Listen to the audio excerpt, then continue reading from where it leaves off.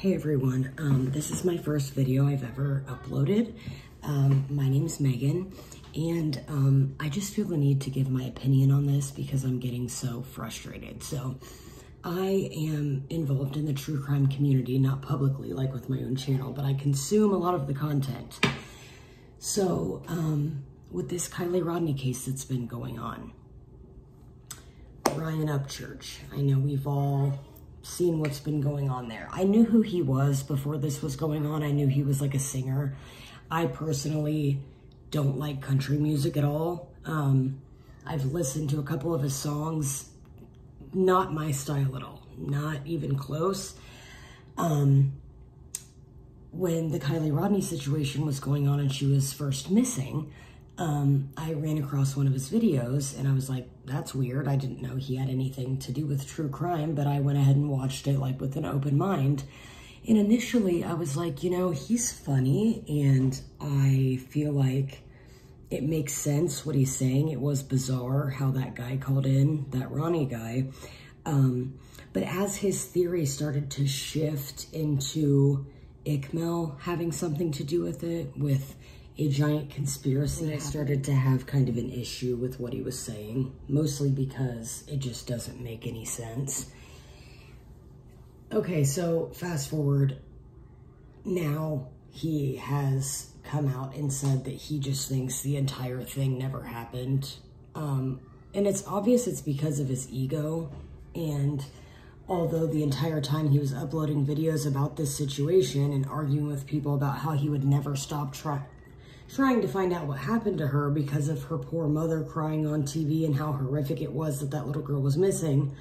And now because his theories aren't really making any sense, now he's just discrediting the entire situation of being real. And, you know, I do find it to be similar to Alex Jones with the Sandy Hook situation. I don't understand. Like, I genuinely don't understand. It, listen, if you want to have theories and talk about cases and things that are going on within, you know, your friend group, with your partner, with your mom, I don't, it doesn't, that's fine.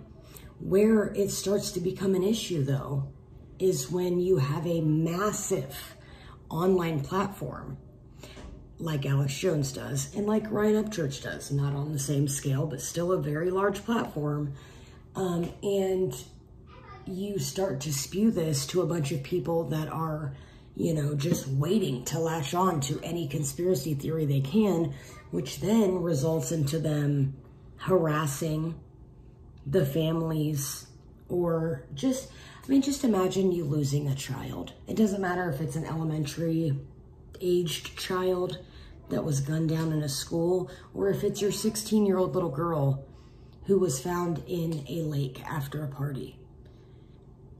The pain that you're going through, and then to have some cocky ass internet country singer go online and claim that your pain and your trauma and what you're going through is all a scam. Can you imagine what that would feel like? It's not that it's not that you can't have an opinion. It's that when you have a platform that size, you can't have an opinion like that and just plaster it all over for all of these, you know, fans and people that will, you know, grab onto it and run with it. I just think it's super irresponsible and it's gross, you know, as somebody who has been through a tragedy before, um, you know, with a loved one who has died. Um, I just can't imagine. I cannot imagine with what my family and I had gone through with that situation. And then on top of it, having this entire group of people online claiming that it's all fake. I just think it's gross. And when someone has to constantly talk about how smart they are, they're not usually that smart.